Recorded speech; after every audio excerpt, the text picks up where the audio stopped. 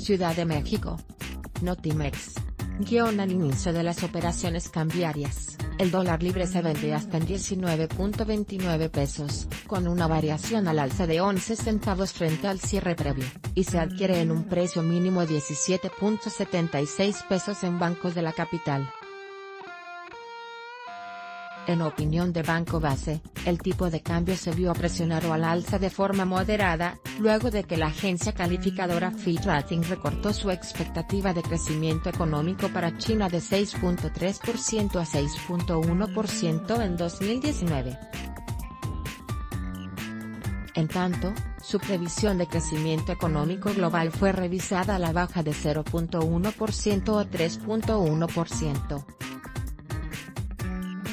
señaló que de acuerdo con la calificadora, la revisión a la baja para el crecimiento económico global se debe a la guerra comercial entre Estados Unidos y China, opciones que contribuyen con el debilitamiento de la mayoría de las divisas en la canasta de economías emergentes al inicio de la jornada. Por otra parte, la víspera la ministra del Exterior de Canadá, Chrystia Freeland, concluyó las conversaciones con el representante de comercio de Estados Unidos, Robert Lighthizer, respecto a la renegociación del Tratado de Libre Comercio de América del Norte, TICAN, las cuales se reanudarán la próxima semana.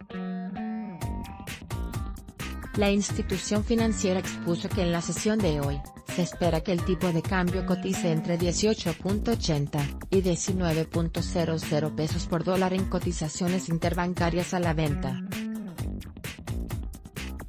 A su vez, el Banco de México informa en el Diario Oficial de la Federación, DOF, que el tipo de cambio para solventar operaciones denominadas en moneda extranjera pagaderas en el país se ubica en 18.8296 pesos. Asimismo, señala que las tasas de interés interbancaria de equilibrio, TIE, a 28 y 91 días se sitúan en 8.1227 y 8.1753% la primera con una ganancia de 0.0002 puntos, y la segunda con una pérdida de 0.0022 puntos porcentuales.